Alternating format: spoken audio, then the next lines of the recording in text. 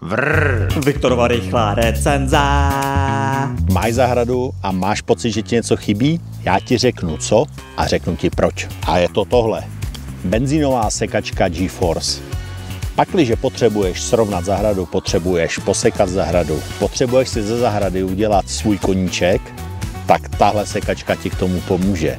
46 a 53 cm záběru, přičemž používáme motory Honda a Ocelové šasí s nerezovou úpravou. K manipulaci máme madlo, takže nemusíš šát dovnitř.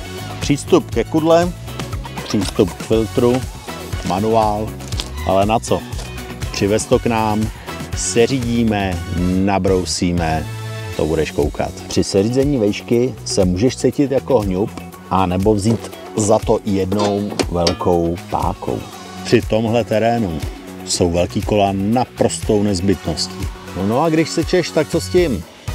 Buď to do boku, nebo mulču pod sebe a při vyndání záslepky nandávám koš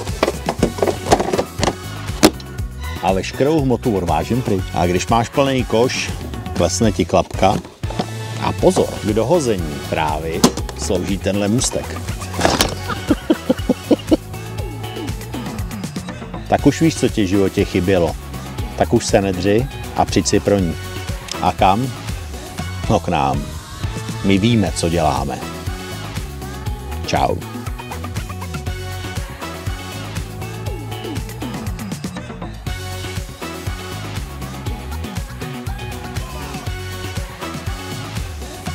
Vrr. Viktorova rychlá recenze.